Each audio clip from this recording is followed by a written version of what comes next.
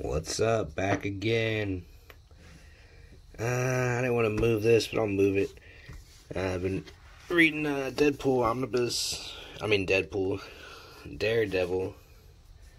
Yeah, good read, man. It's a good read. Uh, here's the, well, just to show you.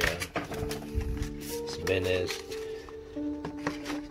Yeah, it's a good read, man. Takes all the, all those uh, comics in this uh, omnibus. Try not to read it too fast, but that's not the reason I'm here. Uh, we got a package today, so let's pop this open. Yeah, I've been waiting for this for a while. I mean, it's not like it came out soon or nothing, but yeah. And I haven't watched any of the series. Or I love uh, Twilight Zone, but I've uh, never watched the new series. So this is pretty sweetness right here.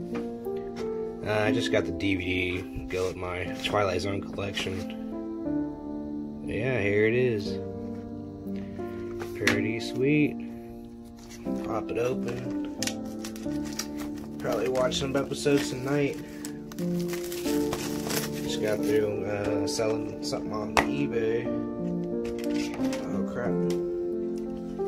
The disc almost fell all the way up. There we go. Cool, cool. Yeah, it's cool. Twilight Zone logo, old school still.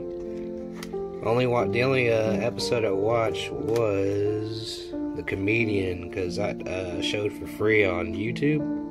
So yeah, I watched that one, and that was it. And people were ragging on it, but I mean, I love Twilight Zone. I got some Twilight Zone toys and six scale figures. Uh, the Twilight Zone collection, Twilight Zone movie. Uh, oh yeah, and that uh, Twilight Zone uh, mask. So yeah, I have to get at least the first season. I'll probably get the other ones too. Sweetness though. So yeah, I'm gonna watch that tonight.